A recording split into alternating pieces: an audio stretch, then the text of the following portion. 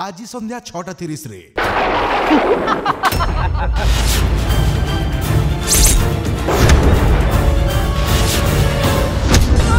କଣ ହେଲା ତମର ତମେ ମତେ ଏମିତି ଏକୁଟିଆ ଛାଡ଼ି ଯାଇପାରିବନି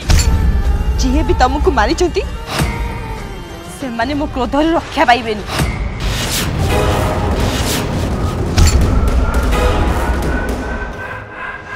ମାୟା ଆଜି ସନ୍ଧ୍ୟା ଛଅଟା ତିରିଶରେ କେବଳ ତରଙ୍ଗରେ